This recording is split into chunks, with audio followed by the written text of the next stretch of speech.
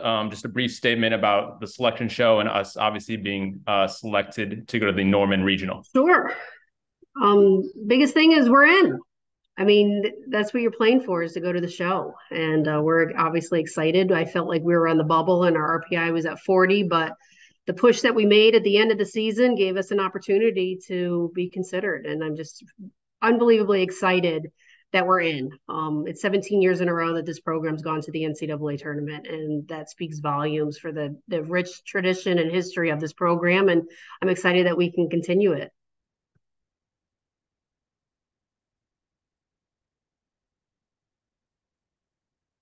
And then we'll open up for questions. Coach, what can you say about that push uh, at the back half of the season? What do you feel like, feel like feel like changed in your girls? Do you think it was a comfortability or just uh, getting further into SEC play? Um, you know, we there was a point in their season that we were hovering, and the NCAA tournament was a little bit out of reach, and it was kind of that realization on, you know, we got to push and we got to make a, a, run for it um, down the stretch, and we got to have a good end of the season. Um, and the game doesn't care, and that's really what we decided to do. And we had the motto of let's be party crashers. Let's crash everyone else's party. And we know that um, you know, Arkansas was making a run to be a repeat, and we wanted to crash their party, and and so on and so forth. And I think it with the Mississippi State was trying to make a push to make their tournament, and we wanted to crash their party. So that's really been our motto is to be party crashers, and we're going to continue that same motto and momentum as we head down to Norman. Kind of on that same note, what what's the message to the team? You mentioned it's party crashing. It, what's the what's the overall message? Same thing. Like let's put crash their party. I mean, they're the number one seed. Um, they're the defending national champions. You know, no better party to crash than theirs. And uh, so we're going to have that same same momentum. Um, we know it's a tough place to play.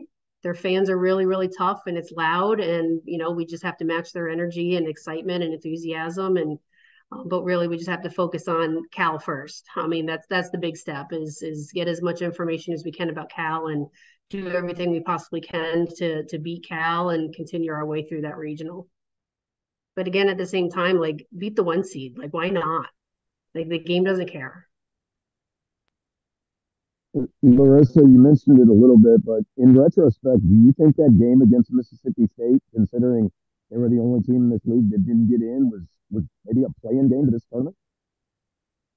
I, I really do. Um, I think we needed to, and this is just based on experience and, and the run that we had last year um, gave us an opportunity to host. And I know that the selection committee looks at how you do towards the end of the year. And we had a lot of quality wins. And I think what really helped us is that we didn't have any really hurtful losses. Um, our losses have been against really competitive nationally ranked teams um, that have made a big, big run and big push. Um, but yeah, I think taking two out of three of Arkansas and definitely beating Mississippi State um, gave us an opportunity.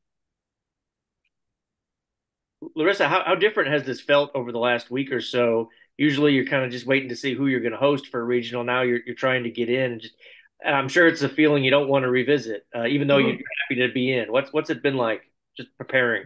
Um, it's tough because you don't know and it's out of your hands, and and I think that's the the biggest struggle is you do everything you possibly can. It's over the entire body of work. Um, you don't want a loss in February March to hurt you, and you just want to you want to put together a good enough resume that you are considered. Um, when I look at our body of work and I look at our schedule and I look at who we beat, if you take Mizzou and you take the SEC out of it, to me it's a no-brainer. But I know that comes into play. And you look at the teams that that we beat and our strength of schedule, and if we were a mid-major or group five school um, it wouldn't even be a question. It's a matter of you know it's it's the sec and it's so tough um, and you're always going to have a bunch of losses because of how competitive the conference is but it's not something that i've enjoyed. Um, you know this day today has been really tough with practice and you know are we preparing for going anywhere are we preparing for the end of the season? And it's been it's it's refreshing that we are going. Um, you know, that's what you play for. You play for an opportunity to go to the the show. Um, but again, I would much rather be in a different chair. Um, you know, being in a top 16 seed hosting for sure. But it's, you... it's good experience. I'm going to say it's it's great experience for the team, and a couple days ago, actually, it was when we were down at the SEC tournament. Um, a couple of our upperclassmen, our seniors, had said, "I had no idea how two years ago being an eight seed, how important that was." And they sometimes don't understand what's at stake every single day. Um, and when you're a freshman and you're the eight seed, you don't really know how you got there. And then all of a sudden you're in a situation that you might not even host or you might not even make the tournament, um, realizing what you did to get to that point. So it's it's a learning experience for everybody to realize the body of work and to put yourself in a position to be able to host. I was just going to ask you what, what mentality you've you've seen from your group. You know, obviously those upperclassmen have that experience. Did you find them helping along the the younger group in this in this you know kind of waiting game you guys had? You know, I think the the two most valuable people are Maddie Gallagher and Peyton Jackson.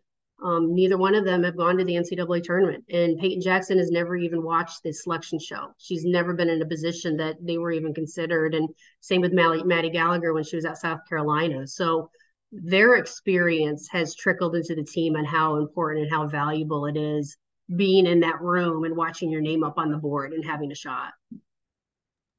Coach, you mentioned a little bit about um, Oklahoma or, and Cal. Um, when you saw Hofstra come up in that regional group, uh, program you coached at for a number of years, what was that reaction like, and what would it be like possibly playing against Hofstra in an NCAA tournament game if that comes to be?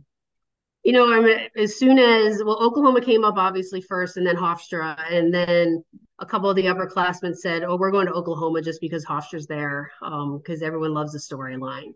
And then all of a sudden, you see Missouri pop up there, and you know, sometimes the, the softball gods work in a very mysterious way. Um, I watched their championship yesterday. Um, Adrian Clark, who is their head coach, is a former player of mine. So obviously, we have a very, very rich tradition and history together. She coached with me a number of years. Um, it's it's surreal. It's exciting um, because they have so much pride in that program and what they've done. And you know, the they're they won a championship for the first time since 2018, which was the last year I was at Hofstra. So obviously, it, it pulls on your heartstrings a little bit, and I'm excited for them. And um, I know that our Hofstra family and our Mizzou family. I mean, there's a lot of Hofstra tradition in our Mizzou program, so there's there's a rich history in that.